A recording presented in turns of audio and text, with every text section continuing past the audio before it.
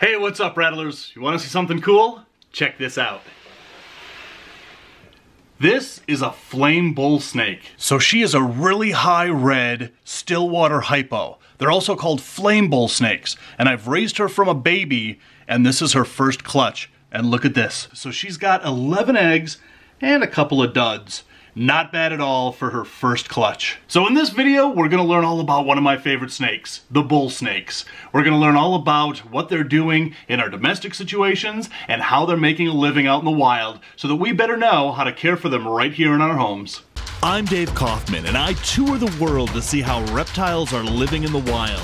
And while I'm at it, checking out some of the most amazing facilities and reptile expos as well. It's all about learning, appreciation, and conservation. So come with me and join my reptile adventures.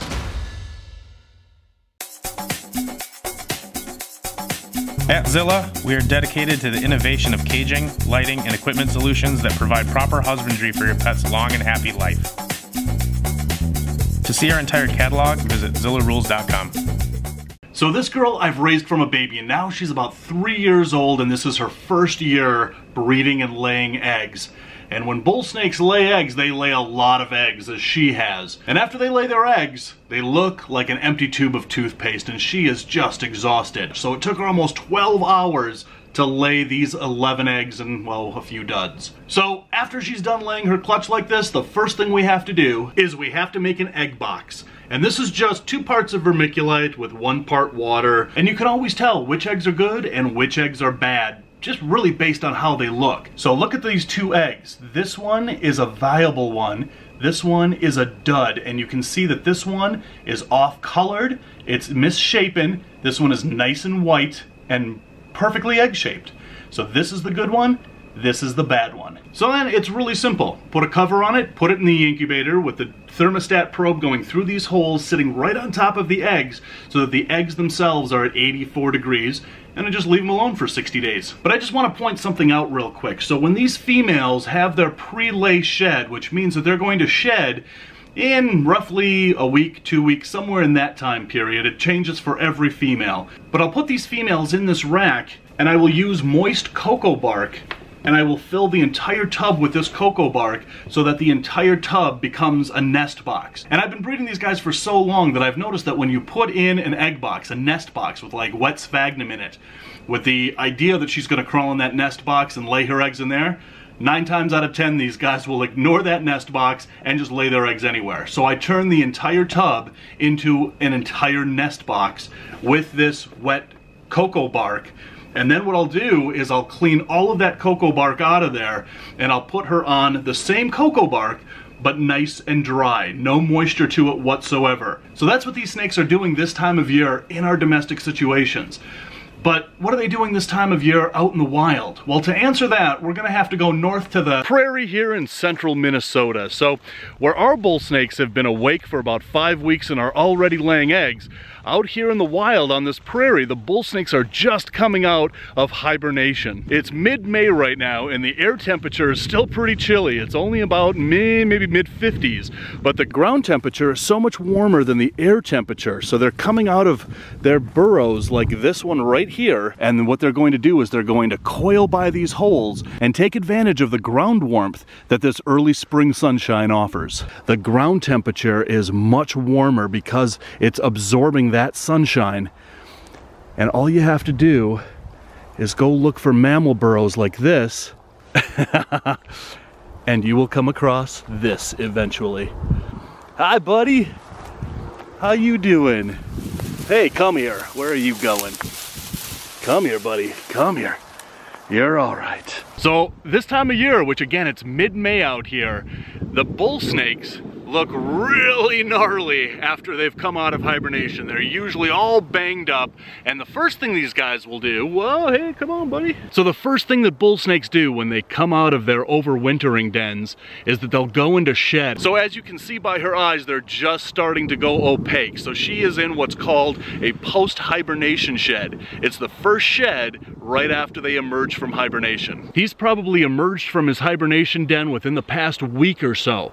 But again, I can feel his body and his body is really warm, even though again, the air temperature is really cold out here. But usually when they come out of hibernation, yeah, I know, buddy, I'm talking. Usually when they come out of hibernation, they are banged up. But this guy, he doesn't look too bad considering that he was just underground for a good six months. Yeah, winter does suck in Minnesota and it's long. And now the first thing he or she, I haven't checked yet, is gonna do is they're gonna sit by those burrows and they're gonna absorb that sunshine. And then again, the next thing they're going to do is they're gonna go into shed. They're gonna have what's called a post-hibernation shed. And then after that, they need to secure some meals because then it's breeding season. Now, Judging from her tail, that's a pretty short tail, so I'm guessing that this is a female.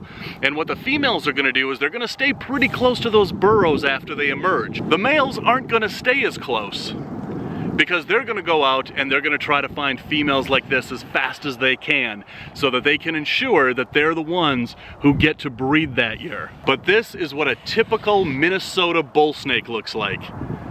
They're really black on top, they have really dark saddles. The ones down in Texas, they're gonna be much lighter color because of the soil color that's found around Texas. So the further south you get, bull snakes get much more tan and brown. The further west you get, they start to get a little bit darker, but the further east you get, they get black and yellow. And we know that from the Kankakee bull snakes, which is named after Kankakee, Illinois, which is one of the most extreme eastern parts of the bull snake's range is in Kankakee, Illinois. They do get a little further east into Indiana. But this is a typical looking Minnesota bull snake. I've found tons of these over the decades that I've come up here. And each one of these guys is just as beautiful as the next. There is a reason why bull snakes are my favorite snakes. I just love these guys. So again, while our captive bred bull snakes are already out of brumation, have already bred and are already laying eggs, these wild bull snakes are just starting to emerge from their wintering dens. They're just starting their post-hibernation sheds before they go out and find a few meals and of course, find a mate. All right, girl, here's a hole for you. Go on down the hole. There you go, sweetheart. There you go. Love finding these guys in the wild. But out here on this prairie in the wild, bull snakes are eating, well, what was once known as gophers. And as a matter of fact, the other name for bull snakes is the gopher snake. And, well, Minnesota is the gopher state, but there aren't any gophers here. What people thought were gophers way back when, when they dubbed this state the gopher state, was they weren't looking at gophers. They were looking at 13-line ground squirrels and they were misidentifying them and calling them gophers. So there aren't any gophers out on this prairie. It's all 13-line ground squirrels and bull snakes love to eat them. And without those 13-line ground squirrels out here, bull snakes wouldn't be on this prairie. The ground squirrels, which not only dig burrows, which the bull snakes use not only to overwinter in, but in the hotter periods periods of the summertime, they're going down to find refuge from the heat. The 13-line ground squirrel not only offers that shelter to the bull snakes, but they also offer food. An adult bull snake will have no problem getting down an adult 13-line ground squirrel. And the babies, well, they're feeding on the ground squirrel pinkies. So without the ground squirrel, the bull snakes would not exist on this prairie. Now, just because the air temperature out here this time of year is 50 degrees and these bull snakes are out in it, that in no way, shape, or form means that you should be keeping your snakes that cold. 50 degrees for three months is what we should be brumating our bull snakes at. The body temperature of that snake, because he was sitting on the warm ground in the sunshine, was well into the mid to upper 80s. So again, just because the air temperature out here is in the mid to upper 50s, that in no way means that you should be keeping your bull snakes this cold during their active period. Now, if you're not intending to breed your bull snakes, you don't have to give them that brumation period. You don't have to give them a three month at 50 degree cool down period. The only reason why we do that is to simulate hibernation, which greatly increases our chance of a successful breeding. The females are gonna stay on this prairie and soak in as much sun as they possibly can to warm up those eggs that they're incubating inside of them. And then they're going to find a mammal burrow or a rotten log or a suitable place to lay their eggs out here on this prairie. And then, as spring turns into summer, when the prairie is in full bloom with flowers like spiderwort and Indian paintbrush and purple lupine. But as I'm walking around this prairie, something's missing. And that's the bull snakes. This time of year in early July, most of the bull snakes have left this prairie because in the midsummer sun, it gets really hot on this prairie. So look at the ground temperature here on the prairie. It's 110 degrees and that is way too hot for a bull snake to be out here. So by mid to late summer, this prairie is going to be pretty much devoid of bull snakes. Sure, there's gonna be one or two that remain, but for the most part, this ground temperature gets way too hot for bull snakes. So in the summertime, bull snakes are shifting their habitats from the prairie where they overwintered and spent the spring to deep in the wetlands and the forests. Where it's much cooler, they have much more protection from the intense sun because of the trees, and they also have a food source here in all the mice and the rodents and the squirrels and other things that are also taking advantage of the cooler forests here in the summer months. Now just because because bull snakes in the wild change their habits from one season to another to escape heat and to find different and more plentiful food sources, it doesn't necessarily mean that you have to do anything different with your bull snakes in your domestic situation.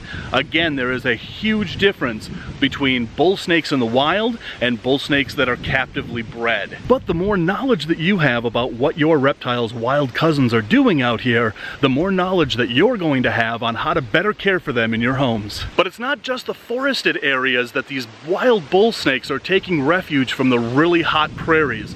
They're also retreating to wetlands like this one behind me where the bull snakes can take advantage of cooler temperatures by this pond, but they can also sit in the direct sunlight and not overheat as they would on the prairies. So along the edge of this pond here, let's take a quick temperature reading. And right now it's reading 86 degrees in the sunshine. So any snakes sitting by the edge of this pond sunning themselves are sunning themselves at 86 degrees, which is the optimal hotspot for bull snakes out here in the wild and in your enclosures. So right by the edge of this grassland here, take a look who's hiding in the grass here.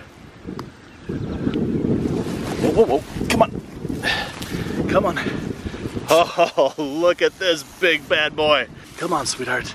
Come on. Oh man, she is just perfectly beautiful. Look at this. Look at this big, dark, beautiful bull snake right by the edge of this wetland, exactly where I expected to find her this time of year. Oh, she is just beautiful. So again, these bull snakes are off the prairies and changing into their summer habits of finding cooler areas around wetlands like this. Oh, it's really super windy out here, but this is exactly the scenario that I expected to find summer bull snakes, right on the edge of this wetland here. So these guys are off the prairies because the prairies are really heating up this time of year. And again, bull snakes, they don't like it hot. So they are again going to retreat from the hot prairies and find cooler temperatures, again, right on the edge of this wetland over here. And this one looks to be a young female, and she is super clean, so she probably just shed. But by the looks of her body weight, she just doesn't look like she's laid eggs this year. And it's a little bit early for wild bull snakes to be laying eggs. In captivity, of course, we can control the environment. Out here, obviously, they can't control their environment. So, in our domestic situations with our breeding programs, we're about six weeks to two months ahead of where these snakes are. But with the bull snake breeding programs in our domestic situations, those eggs are just about to hatch. So back at the home facility, it's now been 60 days after that flame female has laid her eggs and look at this. These babies have just hatched over the past couple of days. Now, I put tape on the egg box like this because these guys, man, even though this is kind of airtight, they are still escape artists. But check this out. Woo! Look at these little babies, and they are so animated at this age. Everything scares them. They think everything wants to eat them. They are just little firecrackers at this age. So, out of all these eggs, a couple of them didn't hatch. That's all right. That always happens in a clutch. But this is a real bonus clutch because I got four albino flame bull snakes. Look at these guys. And these guys are going to get more fluorescent red and orange as they get older. And at the time that I paired up my flame adults, I didn't know that each of them was carrying the recessive gene for albinism. And so to get four albinos out of this clutch, which are now flame albino Stillwaters. This is an awesome bonus, and I will definitely be pairing up this pair again next year. But I've got a theory that about 95% of all bull snake morphs out there are actually het for something. And with all that captive breeding going on, I really believe that again, about 95% of all bull snake morphs are at least het for something, even if the breeder doesn't know exactly what they're het for. And this clutch is a perfect example of that. All right, so we're going to cut open this one that might be good, might be bad. I think it's bad. But yeah, there's an undeveloped snake in there. Oh, bummer. He, he made it right to the end and then died in the egg. But you can still see he has like a massive yolk sac in there. And he just wasn't going to make it. He died in the egg. But this was also a flame, not an albino. But if you look over here, I cut this one open. And yeah, it looks like a potato in there. That looks like some sort of banana cream custard in there. That one is really bad. So anyway, rattlers, I hope this video shed some light on how to care for bull snakes, not only in your domestic situation, but what they're doing in the wild so that we better know how to care for them in our home. So leave a comment below with a tip or a technique on how you guys keep your bull snakes so that others can read those and learn from you as well. And as always, visit our sponsors. Their links are down in the description. And until the next reptile adventure, love the planet, feed your reptile obsession, and rattle on.